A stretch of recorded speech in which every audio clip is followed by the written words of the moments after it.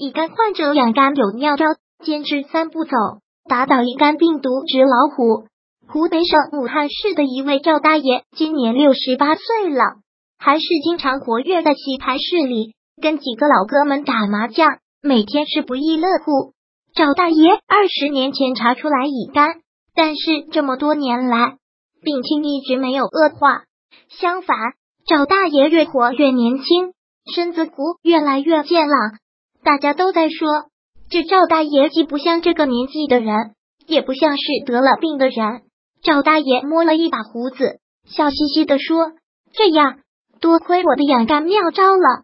很多乙肝患者都以为我这生病了，是不是需要静养啊？是不是得多休息呀？多休息是对的，但是也要保证有一定的运动量啊，这样才能提高身体免疫力。现在人都讲究精米精面，但其实粗粮对我们才是最好的，助消化，消化好了。”身体机能好了，还能排肝毒，尤其适合老年人吃。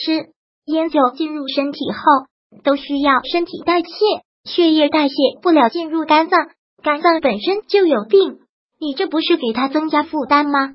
如果喜欢本视频，请分享并订阅本频道，访问 T T News 点 X Y Z 获取更多相关资讯。